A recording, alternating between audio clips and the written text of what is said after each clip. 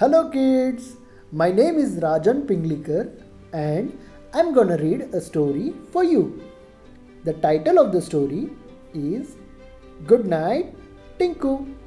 Author Preethi Nambiar, illustrators Sonal Goyal and Sumit Sakhuja. Here we go. It was a bright moonlight night. All the animals in Mangu's farm were sleeping except Tinku. I'm not sleepy, Ma, murmured Tinku. But Ma did not hear him. She was fast asleep. He turned left and he turned right. He lay on his tummy and rolled on his back, but he could not sleep. So he set off into the night to see what he could find. Up in the sky, Tinku saw the moon, white and round, smiling down at him. He felt very happy. The night is beautiful, thought Tinku. Far away on the top of a tree, there were some tiny lights. One of the spot of lights flew down. I am Firefly, said the spot of light. I glow in the dark. Will you be my friend? asked Tinku. Yes, I will, said the firefly. Something flew by and hung upside down on a tree. What is your name, bird? asked Tinku. I'm not a bird, I'm a bat. I can see during the night, said the bat. Will you be my friend? asked Tinku. Yes, I will, said the bat.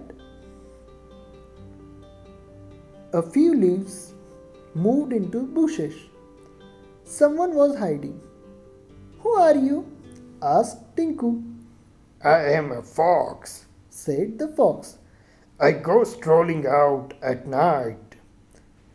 Will you be my friend? asked Tinku.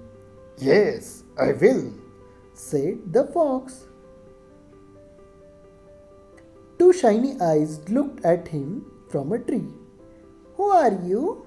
asked Tinku. I am an owl, said the owl. I hunt for food during the night. Will you be my friend? asked Tinku. Yes, I will, said the owl. Chirp. Who is there? Tinku asked. I'm cricket, said the cricket. I chirp when it is dark. Will you be my friend? asked Tinku. Yes, I will, said the cricket. Tinku and his friends jumped and tossed and rolled until Tinku yawned. I'm sleepy. I have to go to home now, said Tinku. He was happy that he had many new friends. Snuggling close to Ma, he said, Night is not a lonely place, Ma. Night is full of wonderful beings. Yes, replied Ma. Your new friends are nocturnal, just like wild dogs. Nocturnal animals eat, play, and walk at night. They rest during the day. You must sleep now. Sleep will give you energy to play with your daytime friends tomorrow. Good night, little one, she said, hugging him tight. The bright round moon shone all night long, spreading her calm light all around, and Tinku slept all through the night. Thank you.